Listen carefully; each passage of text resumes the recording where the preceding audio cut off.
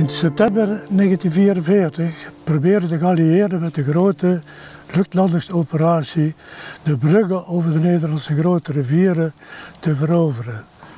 Ze landden ook in Brabant.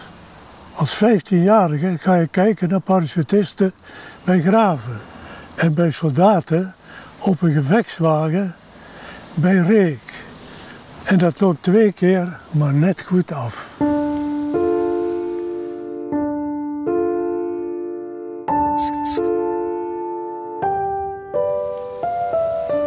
Uh, ik woonde toen bij mijn ouders thuis, op de grens van Schaik en, uh, Reek. Dus uh, als we naar de dijk gingen kijken, want de luchtlandingen die hadden plaatsgevonden, de eerste dag van operatie Maken Gade.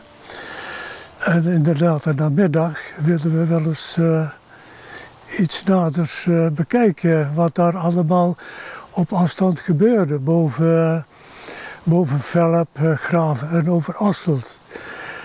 Wanneer wij met de fiets de dijk op gingen en onze hoofden boven het maaiveld uitstaken, ratelde er een. Prrr! Dat deed ons stoppen natuurlijk en we gingen rechtsomkeerd naar huis. We waren wel even geschrokken.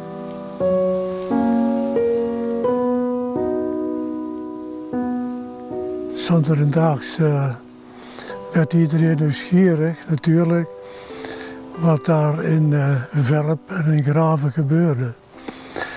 We togen met een aantal uh, vrienden richting Graven en in Velp.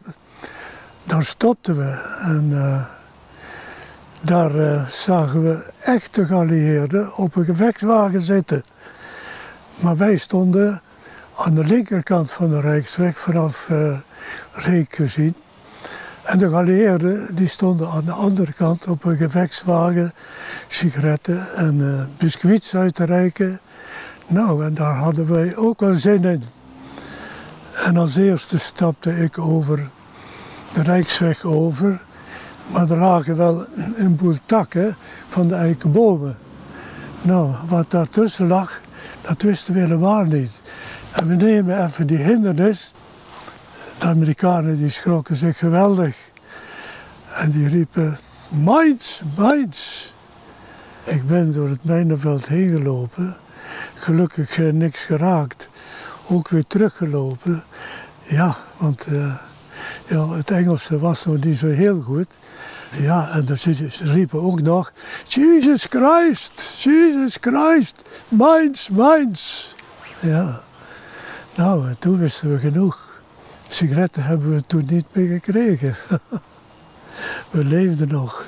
Dat had heel anders af kunnen lopen. Ik denk dat ik wel een beschermengel op mijn schouder gehad heb. Nou, en toevallig heeft Reek een beschermengel gekozen.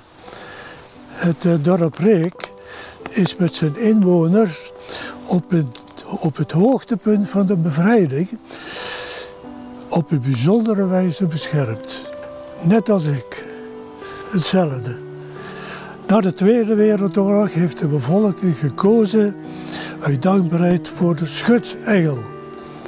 Als beeld voor een bevrijdingsmonument.